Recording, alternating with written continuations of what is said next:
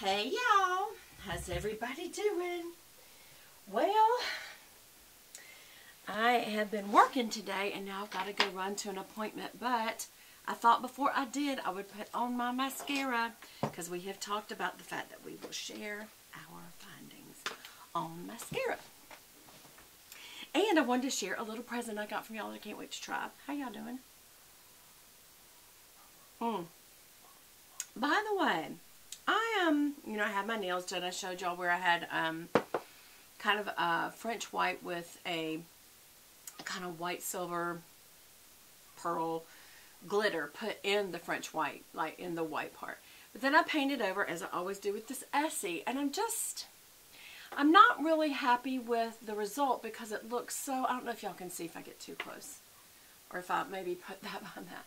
It's really streaky. You know, I don't know which one's going to show it the best. How about that one? Like, just look at the dark spot at the top of that fingernail. Can you see what I'm saying? It's just, it's, it's streaky. This, this hand looks a little bit better. But can you see how it looks kind of, I don't know. I was really disappointed. I have to tell you next, I am going to do Kendra Scott's, um, Bright Coral. That's 675. Is that right? 675? Yeah, and this is like putting on gel. It is so thick that you really only need, if you can do good, you can you only need one, um, remember I, one coat. Remember I got this, this was the turquoise in color 440, and that looked so good. That is actual Tiffany blue. So if those of y'all like Tiffany blue, I have a Tiffany blue handbag, remember, and it's the exact color of the Tiffany blue leather handbag. But this is just so spring, and I'm trying to make it be spring. Coral is so spring, y'all. So that will be the next color after I wanted to do a baby pink. So, and I think this was, uh, maybe it's because it was old. This was the one that said raise awareness. But before that, they took a color and renamed it to raise awareness, I guess. And um, I think before that was ballerina shoes or something like that. But anyway, that's that. Yeah. Mmm. Before I begin my mascara, a friend of mine brought me a little treat from Rio de Janeiro. Shout out Tan. This is the cutest little bag. I feel like I've really been to Rio now. So cool. I'm just going to use it for all kinds of things. But the little presents she brought to me. She always brings me presents. She's the most giving person, y'all. I love her. Tan, I hope you're watching. Well, first, let me show you my two little lip glosses I got. And I've got one of them on. This is the Crystal Gloss, which y'all know I don't typically wear gloss. But uh, just because it's kind of sticky and it tends to make my lips a bit, um, it takes the Chanel back off. But I have worn this a little bit and it hasn't been doing that. So this is called Promiscuous TLG13 is the color. Uh, and this is Ruby Kisses. Um, Shea Butter Enriched Crystal Gloss, and it's Shine Seduction. It's great for on stage. So we're stage girls. So she got me that one, Promiscuous. And then the other color is Gold Digger, and that's TLG06. Um, these are affordable. I don't, I didn't ask her, but I imagine you can get these at the drugstore or Walmart or maybe the grocery store. Ruby Kisses. I hadn't heard the brand. But this is um, Again, it's Shea Butter Enriched Crystal Gloss, and one is more of a bronzy gloss to put over a darker lip maybe, and one is more of almost like a clear. I know it doesn't look clear, but that it's clear. It's got a little hint of color, like a little bit of orangey undertone. Perfect for summer. Perfect. Especially by the pool. This would be perfect. So that's one. Look what this girl gave me. Then she gave me a Kylie. Y'all, those have been so hard to get even. And what it comes with, this color is Posie K. It's a deep rose, which she knows I love rose. And um, it comes with both the, um, the lip stick and the liner that's part of the kit, which I have to say for Kylie Cosmetics, I don't know who actually came up with it. Kylie, Kim, Kris, I don't know who came up with it because they're always looking for ways to venture into making money. But put in here the liner that matches was brilliant. The packaging, I'm not crazy about lips with looks like blood dripping down or especially when it has white dripping out. Just it's kind of like gross looking. for me personally. But I guess it's showing how drippy it is. I don't know. Because, but it, I mean, it's cute. And then this is the matte lip, matte lipstick that comes with it. So, I already had my lipstick on. So, I was, I'm not going to do that today, but I will do it tomorrow and let y'all see how glorious I look with my new, almost dropped it, Kylie K. Okay, let's get some eyelashes on these eyes. A, first of all, get out your eyelash curler. I did not put on liner today. I just don't want to. That's okay. I don't always wear liner. I've, I've gotten in a habit of wearing liner.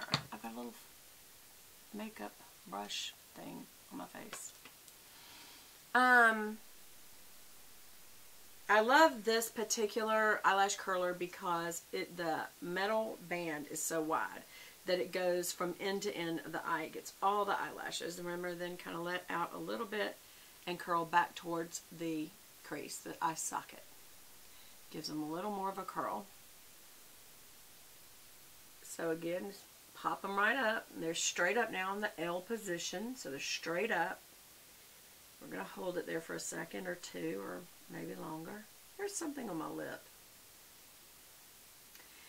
Alright, now let it out a little bit. Just and curl it back a little more towards the, uh, what is on my lip? I don't know. Maybe I was eating something. it just stuck right in my gloss. That's the only thing. Okay, what do we do next? What do we always do after we use our eyelash curler, girls? Wipe it off. Always keep a makeup towel. I keep a black one.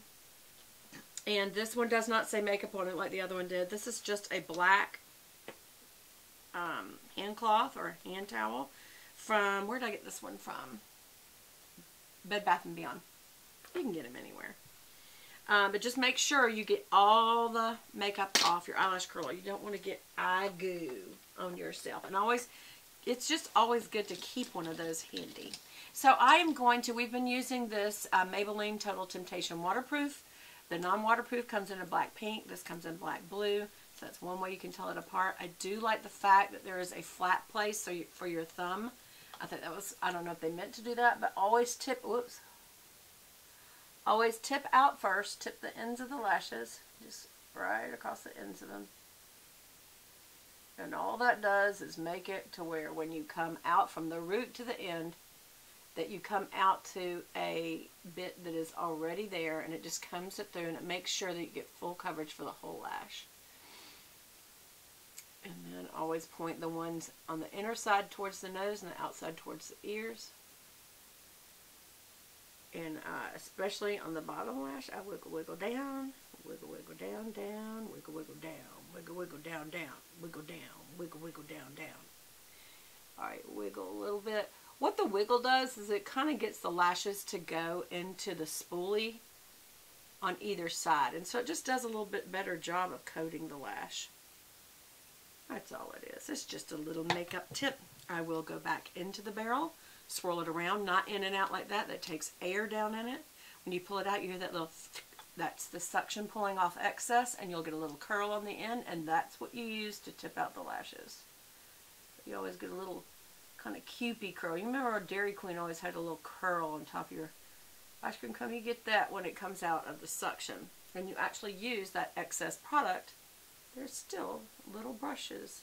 What brush did I use today? Because it didn't some of it's coming off. You know, I used to think you could keep your favorite, uh, which mine is uh, Sigma Beauty brushes, favorite brush set, but they do wear out and you have to go back and get some more. And by then, of course, yes, they've changed them up. Except Sigma Beauty does have all the original ones that I used. See how I have a little booby right there? Got it off, and I'm going to wipe my finger off on my trusty towel. We tipped out. Now we're coming through and pointing these towards the nose and this towards the ear. Wiggle, wiggle down. Wiggle, wiggle down, down. Wiggle, wiggle down. Wiggle down, down. Wiggle, wiggle down. Wiggle down, down. I'm not doing the most perfect job, but you know. Alright, so that's one coat. I am going to do two coats. Did you hear it? See how it gets a little ticky piece on the end? Use that to tip out your lashes. And I am going to re-tip them. I don't always but I don't, I just am going to go thick today. And see how it just gets the ends of them real good? And then when you come through, it gets all that product really good on there. And sometimes I like a real thick looking lash, and that's just, that's the mood I'm in today. Other days, I like it to be very thin and combed out. A little more elegant. This is a little more sexy. I don't know why. I'm not trying to be sexy for anyone today. I'm going to the doctor. That's the reason, one of the reasons I'm working from home today. I also have people coming to work on the house. There's a little bit of goo fixing to fall off of that. So I needed to work from home today. Working on a big meeting today from one of my bosses, Matt. I'm sure you're watching. He's not. I wonder if his wife would be though. Well, I'm taking a lunch break right now, wife. It's okay. She might okay.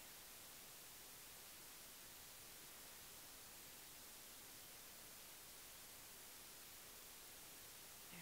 Do you see how thick that makes it look? This is good mascara. It's a little goopy. Especially, you know, once you've had it a few days, it gets a little more goopy. It's a few days old, and as y'all know, we have used this a few times to see how we like it. Um, I like it. I still like it. I always like to get those little end ones like that so they really stand out. Now you could use a comb. Let me show you what I mean. You can use a uh, eyebrow, eyebrow or eyelash comb, however you want to think of this. Make sure there's no fuzzes. Gosh, can y'all hear that wind? And I'm just going to come through and get any excess off that's too goopy. There. That's perfect.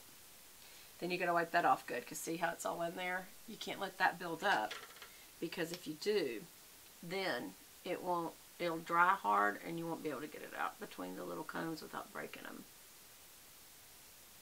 They're not usually expensive. That one's a Mary Kay one is why that one's expensive. It came in a